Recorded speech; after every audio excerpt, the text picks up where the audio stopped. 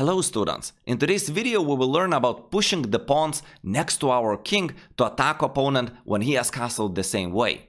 The most important principle to remember when using this strategy is that you need center stability and make sure that opponent has no counterplay there. If you push pawns next to your king and the center is blown up by your opponent, your king then will be in danger, as his pieces can easily reach your king from the central squares. Now let's take a look at absolutely amazing example. In this position, it seems that white is much better because of the space advantage that they have with pawn duo e4 and f4. Usually this in the opening and middle game provides better central squares for our pieces, and you could see that white's bishops and knights are deployed a little bit better or they're more centralized than opponent's knight and two bishops. However, black is super solid and it's not clear how to proceed from here and white shows us the way. They decided to attack the opponent's king. White seems to dominate the middle, and so flank attacks are possible. So they started with bishop to f5 in order to open up the g-pawn moving forward. After opponent played a move h6, white just goes for the pawn storm. Now, if black played bishop g8, white prepared bishop g6, there's a pin so they can't take it, and after rook e7 we would have a similar situation like in the game where white just attacks the black's king. After h6, white played g4, knight to e6. This knight is a very well-placed defender, and this bishop perhaps is not needed. We just want to accelerate opening opponent's king. And so bishop takes e6 followed by f5 is a perfect method of making our attack faster as we're moving with the so-called tempi or threat. After bishop c4, white plays amazing move.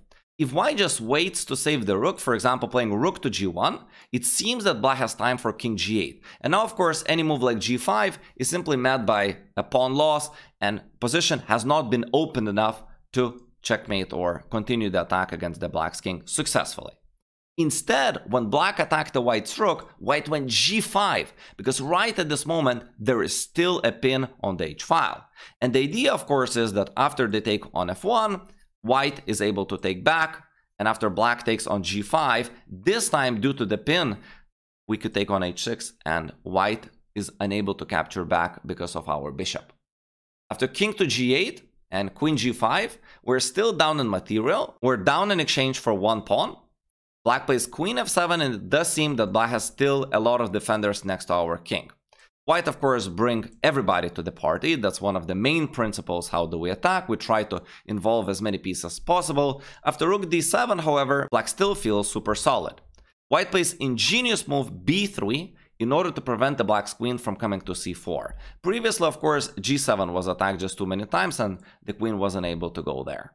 Black played c5, white goes knight to d5, bringing even more pieces to the party, until there is a combination available. After Black took on d4, white played knight f6. And here, unfortunately, there is no king h8 because of queen h4 checkmate. So they have to give up the queen, and black resigns as they're completely lost. This was a perfect example of using flank attack strategy where we're pawn storming with the same castling on the board because of the center stability and black not having counterplay in the center in order to reach our king. I hope you enjoyed this video. Consider hiring me as your personal online chess coach. Thank you for watching and I will see you in the next video. Bye bye.